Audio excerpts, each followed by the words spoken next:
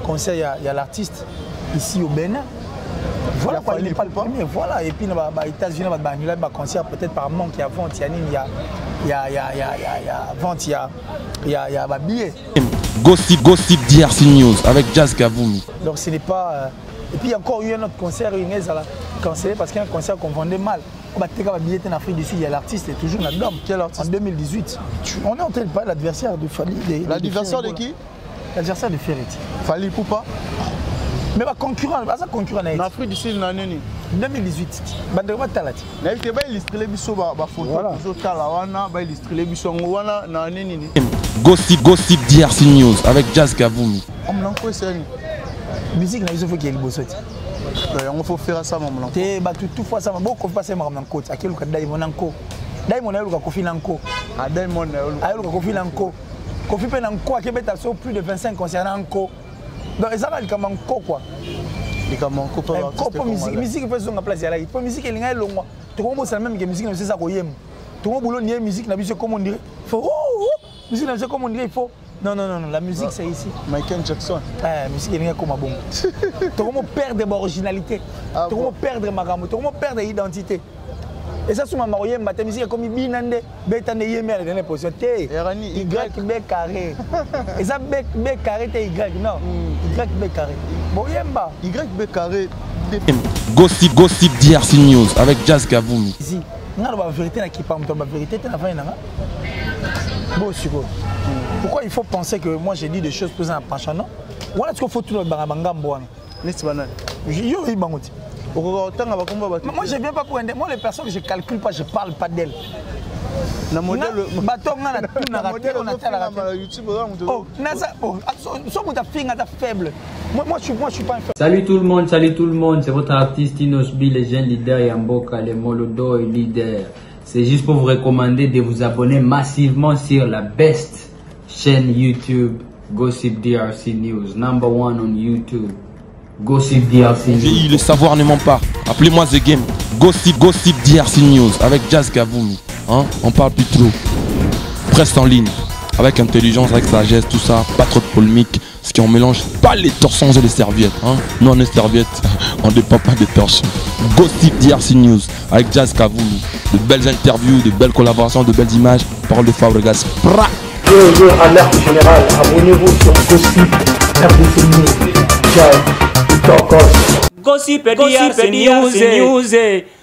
Le bosse, le bosse, ah. Voilà, merci vraiment la bateau tout ba robeta liba pour prendre Rolanda biso bateau ba. Lingara vraiment musalo to c'est la bango bateau ba commentaka surtout ba vidéo na biso puis bateau ba partager ça la biso énormément bien ba remarque na bino ba reproche yango ça la ghetto mais vraiment ko bongisa musala même si ba critique yango ça la ghetto continuer ko toujours fort. Merci na bateau ba encourager biso mais avant na dédicacer bateau tout balingaka biso na kolinga beaucoup plus na annonce invité na ngai naza na ye na plateau na biso ya lelo naza bongo na killer kilesi jamais d'échec donc avec ye tokomeka vraiment kosolola tout tout tout tout tout sauf rien un grand merci vraiment à dada ulungu mama ni mama dada ulungu mama sociale motema ya papa feli omatoko merci vraiment na cynthia lumira depuis portland mais un grand merci aussi à Hervé Loukoussa, un Canadien de plus au Canada, puissant plus que l'océan. Merci vraiment aussi à notre président de l'île, Joe Béni, sans oublier à Nathan Poutou, garçon Nat. Nathan Poutou, merci aussi vraiment à Yannick Chimela, Chimelos, Un grand merci à Megra Mangwana. Voilà, né na nosia bino que naza bongo na killer qu'il est. Je pense que je suis avec lui to remeka vraiment kosola tout na habité soko fongola biso vraiment na plateau ba mona invité na nga na zanae. Bonjour killer qu'il est. Bonjour Kiri Chimpi. Bonne santé. Carré.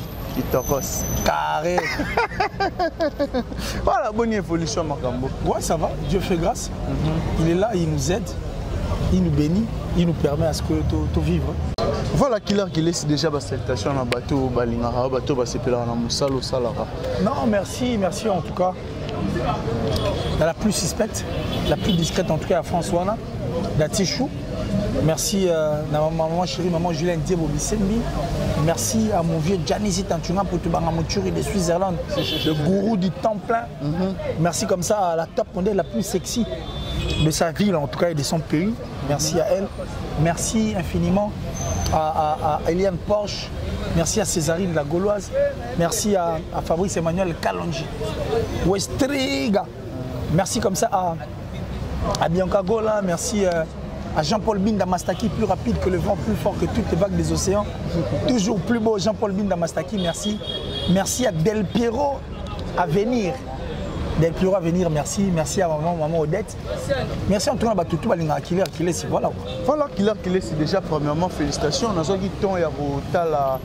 Euh, nayebi te so nabenga ye confrère to nabenga ye téléspectateur oyo azwaki vraiment temps ya koremercier killer na baanalyse osalaka na makambo tututu osalaka nayebi te yo moko ntango omoni no video wana esalaki yo comment non mais ça ne pouvait que me mettre euh, dans la joie parce que généralement tant tolobaka tomoni onyamaka tolobaka ekomaka te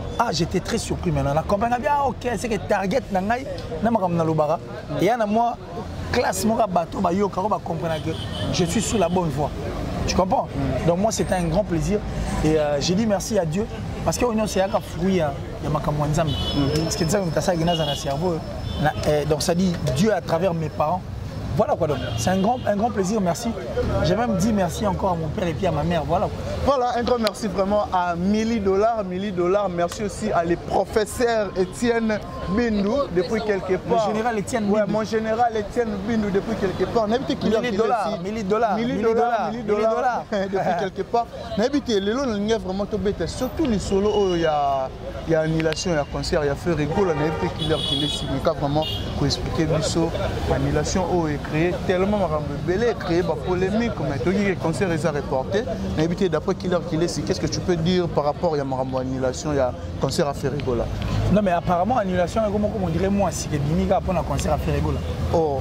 il n'est pas le premier à annuler un concert oui. il est libre c'est un artiste bakondition ekoki te koannule na côte d'ivoire nso oke badj arafat baannule baconcert kofi olomide akita na podium bauta mpe koannule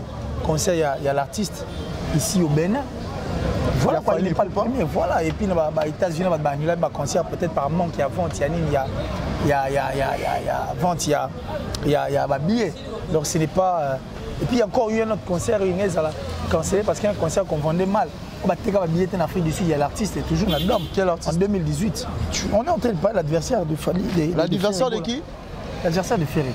Fallait ou pas mais ba concurrent ba ça concurrent na Afrique du Sud na nini 2018 bande ba talati na yete ba illustrer biso ba ba photo voilà. zo tala wana ba illustrer biso ngo wana na nini ni voilà ba ba illustrer biso na ce to tala ngo mais na yebite c'est que to to comprendre que ils ont permis na artiste nioso oh mais so ya sala musala d'abord non ba ya maka pour na sentiment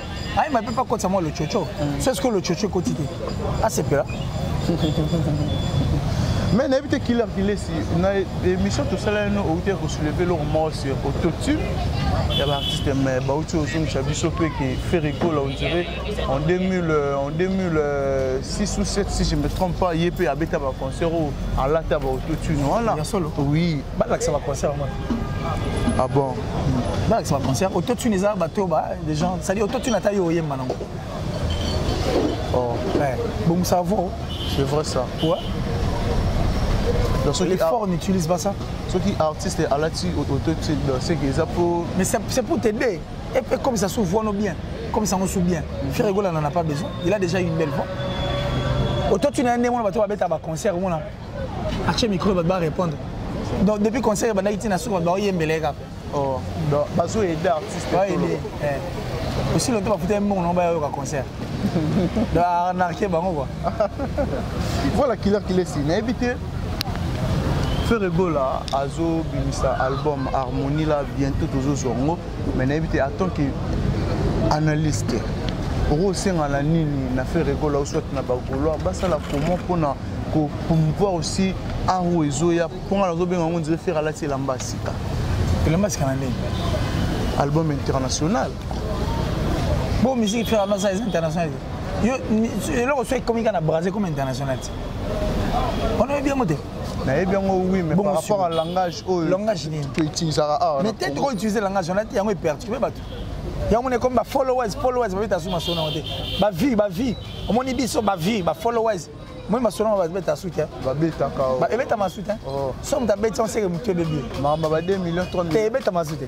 oh. esila déjà innonce sa démystifie yango esa bate barécolte makambo wana tobetama suite c'est vrai ça so moto abeta yango seke azanga soni mhm. beta masute mais okosenga nini na bagolois bas non mais quand tu as dit tout à l'heure là que non et la sika mais le style de musique déjà avancé Peut-être parce que la communication à l'époque faisait du mal dans l'orchestre.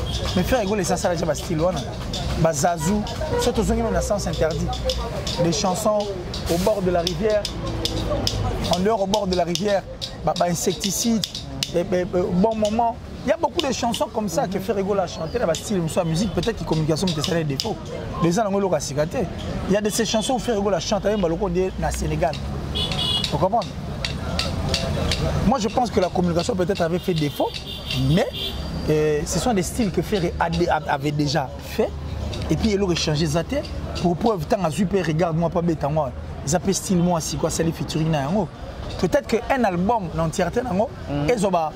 ba couleurs ba plusieurs couleurs là ça va mais par contre moi j'aimerais que frère gola tanga osala ngo asala ngo pena ndenge biso to kolinga yo kolinga comment nga na kolinga siko que hmm. il faut tant ba osala ngo ba lukaka pe bato yo ba yebi yo ba miyebi na makambo wana c'est des personnes qui s'y connaissent ba bram si toi na ba ba chatte na esprit que non te o oh, muta intel o oh, te muta muta la te batipe wana bana culture na makambo yango amonela makambo moto moto alaka te cestadi ye so otye le coco na ye ye aya asali ocap asali oboulot parce que le plus important c'est quoi quand on fait quelque chose résultat ezala kitoko so résultat eza bien c'est la moindre des choses donc ferregola doit regarder les choses du bon côté banzembo supe akosata 80 chanson ata 90 chansons mm. ebima nango ata bongo bongo album ya nango mais des chansons promotionnelles qui vont annoncer les couleurs de l'album eza mpe bien ye kuta ya kuta moto esu parce que koyemba kuta ya déjà ye tala kaka na instagram image kaka moko atie bepesi liboma bato bakomosela yango baémission bani bani bani et puis le gaulois doivent comprendre qu'ils ont un grand travail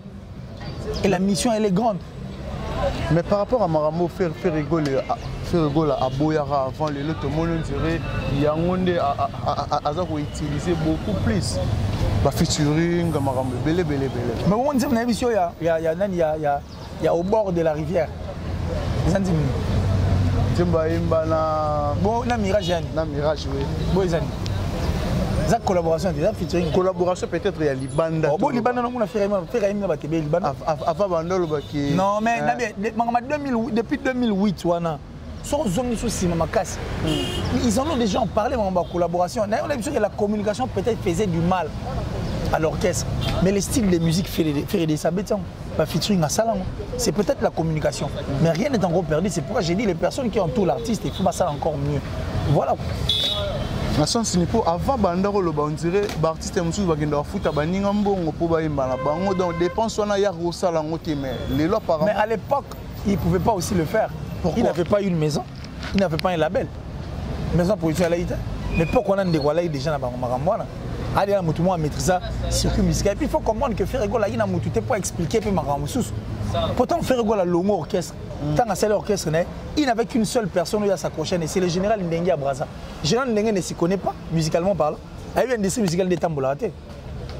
mais par contre l'autre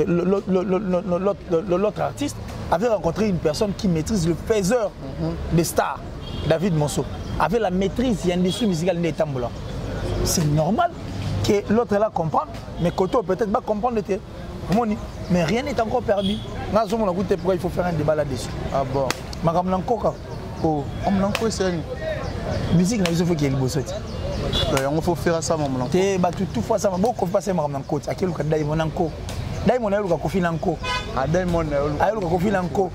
Kofi pe na nko akebeta so plus de 25 concerts na nko. Donc ezaka likama nko quoi. Likama nko pa artiste. Ko musique musique pe zonga place ya la. Po musique elinga elongwa. Tokombo ça même que musique na biso ça koyemba. Tokombo boulot ni musique na biso comme on dirait. Faut oh, oh, oh. musique na biso comme on dirait il faut Non, non, non, non, la musique c'est ici. Michael Jackson. Eh, musique est comme bon. Tokomo perdre mon originalité. Ah, Tokomo perdre ma gamme. Tokomo perdre identité. Et ça, c'est ma mariée, ma musique est comme binande, bétane yémé à la dernière position. T, Y, B carré. Et ça, B, B carré, T, Y, non. Hmm. Y, B carré.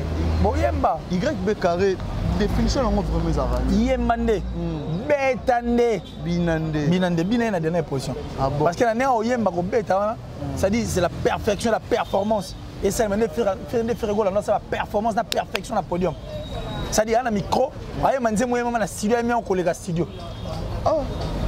epuis ayemi yango na bainstrument babetela yango te na studio bato babatuna komatana ezali pwani beta nde bina nde yemba nde mais oui oh.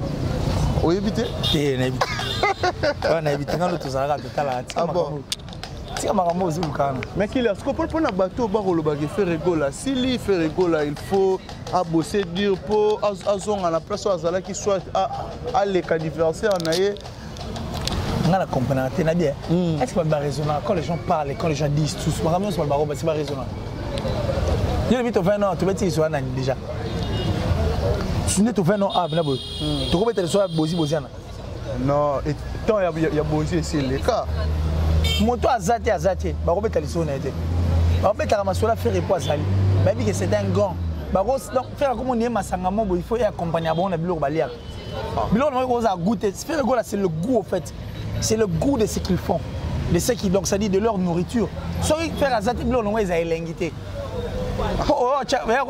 olingo otya dadju na makambo na bino eza kootye poivron te otie lokola neti na banini otie lokola fromage na, na bitekuteko oh. eza gute donc bakopa ke fromage wana biloko nango esimba te mm. il faut seulement kiye pere egola mpo biloko nango ezala kitoko c'est lui la star, c'est elle la star, c'est lui en fait, c'est elle en fait qui, qui, détient en tant que star l'actualité. Pourquoi Baobenga est meilleure voix africaine bonga na ba yonto ivoirien wana biso toyebi na biso ngo mais ivoirien pas bien parce que Ferre Gola est capable de faire tous les styles mm. tous les styles tala nga zu regarde moi wa bloka ba Adèle na ba Boni mais Ferre asaka na ngo toi tu penses que regarde moi là ata moto mosusu awa na congo akoki beta musique genre style ya musique wana te c'est seulement faire egola non mais soki azali c'est bon asala c'est pas grave c'est toujours dans le cadre de bonheur ya musique na biso mhm. mais nayebi te killer kilis eza na eloko moko ezo déranger vraiment bato apparemment on dirait biso moko bacongolais tolingani te euh, s'il s'agit de malheur ya ferre egola kote ya ngambo ya fali basepeli soki eza malheur ya fali pupa kote ya ngambo ya ferre egola basepeli pourquoi wana soki poto babaka bangambo wana yorala ngambo nini nga aza journaliste averti avere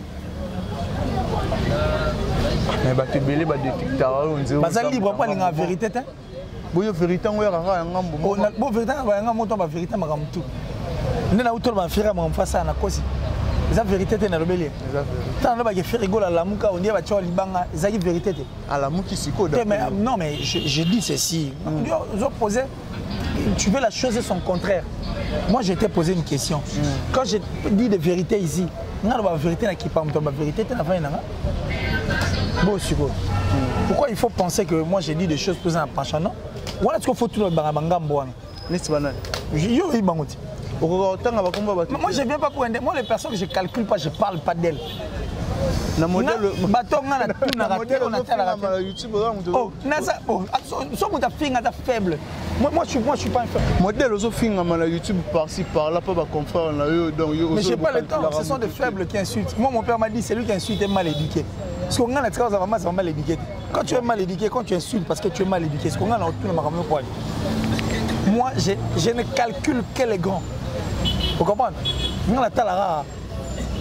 nga kalkila mike te peut-être yo mpe bagrand ngo babeta yango kara yangoneti grand neti grand nini oyo abeta nga kara yo moko oyebi non il y en a pas moi je calcule que le grand moi je calcule pas le petit c'est-à-dire moto oyo nga nayebi kaka na kabi na nga te natunaka makambo ne te natalaka te nayokaka te ah, ata bandi kofinga nga ntongo ti baluka yango trop mpo toko mosala ngai na kosala yango te j'ai pas ce temps obangaka nde nabanga eloko te peut-être baokoisa otombe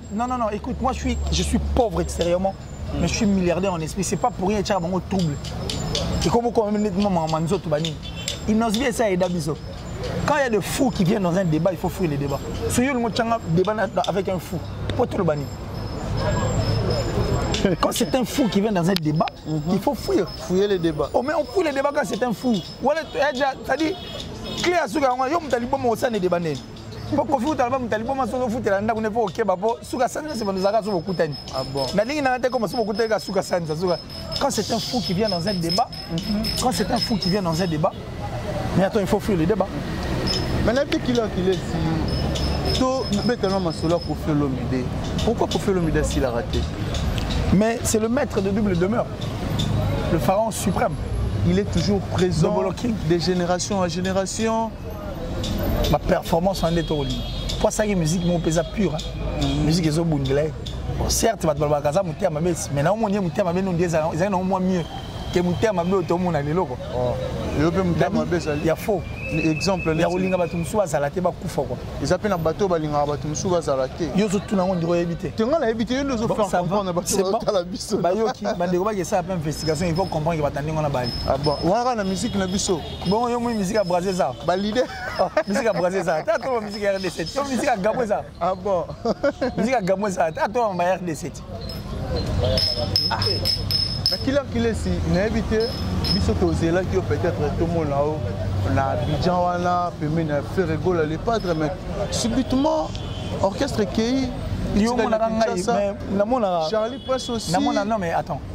naye na aide yo kutu mm. yo soki nga omona ngai mm. moi je suis pas un golois gouve le golois kutu azala omoni te pose problème teka ngai oh, nga na ngai nakendanga en tant que journaliste moi j'avais mon passeport mm. mon billet le retour était assuré eh, logement na ngai ezalaki assuré peut-être que makambo nde esalemi boye boye visa ta mosusu ami te puis bon je, je, je, moi c'est pas ce que moi je vois quoi mm -hmm. parce que déjà je devais être avec Inosbi à Lubumbashi voyager c'est rien ce n'est pas ça soki nde bato balobona alingi azala yango na mposa aza récompense te parce que moi-même na makasi na ngai so na bina nobunda progressivement attends je fournirai un effort nako se déplacer donc na oyo esa mpe eloko te donc ce n'est pas ça en fait ça c'est un faux débat moi je crois que oyo tonga tokende c'était pour accompagner en fait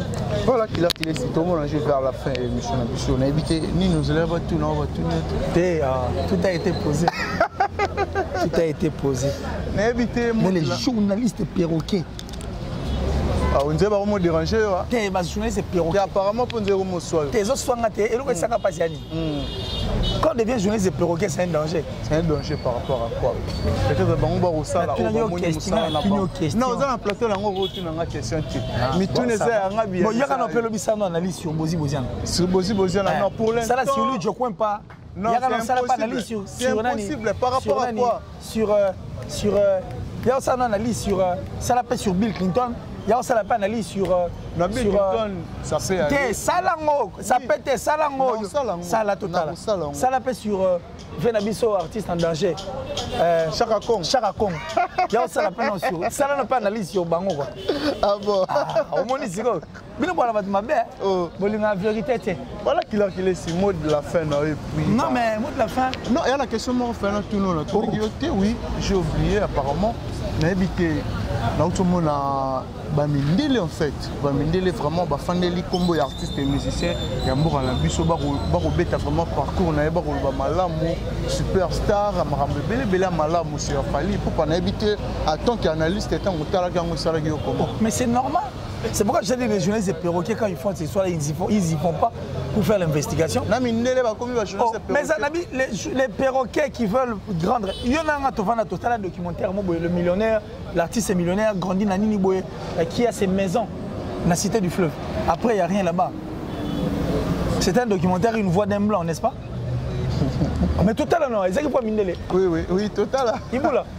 totala documentaire oyo totala ezalaki voi mindele ti sikoyo ntango bakie kuna bakangeli yango charlie prince est ce que ndako ezalaki mpe ya solo kuna mais mundele moto alobaki c'est la promotion na bino boye mm. ça c'est une émission mundele wana oyo shelar na ye oye na mm. actualité booteka artiste na bino il parle de ça yoka tika pamba bakofanda beta masolo wana pourquoi pas so ozosala fierité ya makambo ozosala soki ozo mérité oza moteya mabe c'est vous qui tuez au fait makambo ebele bref c'est la promotion moi makambo basalana même le label de frère ego là so elingi basala yango ils le feront même pour innocent même pour tout le monde soki bakende c'est l'actualité tu payes point barre vous comprenez donc euh, laissons nous vivre laissons nous respirer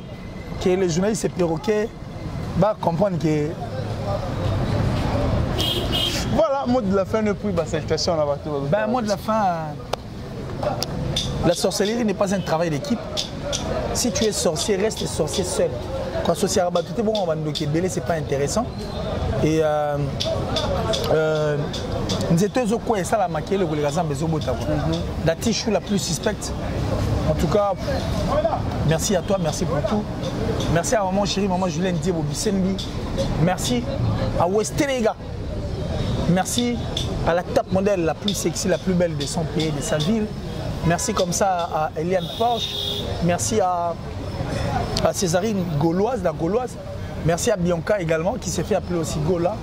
Merci. Merci à Jean-Paul Bin Mastaki, plus rapide que le vent, plus fort que toutes les vagues des océans, toujours plus beau. Adamo Bolingi, ainsi que Jonathan Bolligny. merci à vous, merci infiniment. tozaka na bino en fait on est en train de voir le show du bon côté mon vieux Gianni c'est un tunan pour tobanga muturi de Switzerland le gourou du temple merci infiniment voilà merci temps plein